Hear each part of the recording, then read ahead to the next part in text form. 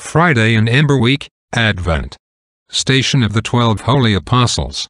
The collecta, or place of assembly, whence the stational procession used on this day to start on its way to the Apostoleion, must have been in the ancient titular church of St. Mark in Pallacinis, which is quite nearby.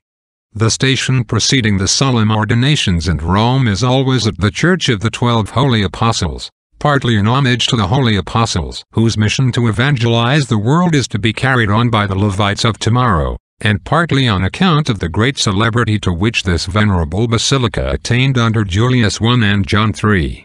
The Mass is once again an impassioned longing of the soul for the coming Emmanuel. Isaiah speaks in the epistle, and describes for us in glowing colors the future emancipator of Israel. The Gospel narrates the visitation when Mary begins her works as the dispenser of grace. She visits the house of Elizabeth and Jesus sanctifies John in his mother's womb. Thus is John the first among the saints to owe all his gifts of grace to Mary, and there, under the humble roof of Zacharias, is sung for the first time that sublime canticle, the Magnificat, which shall form the dedication hymn of the first church of Our Lady, and shall be the daily prayer of the church through all the ages. The coming of the incarnate Word inaugurates a new era. We are brought into this new kingdom by the sacrament of redemption.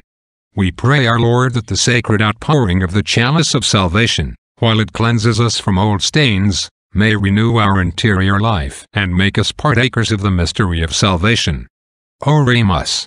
Bester, O Lord, thy might, we pray thee, and come, that these who trust in thy kindness and love, may the more speedily be delivered from all adversity.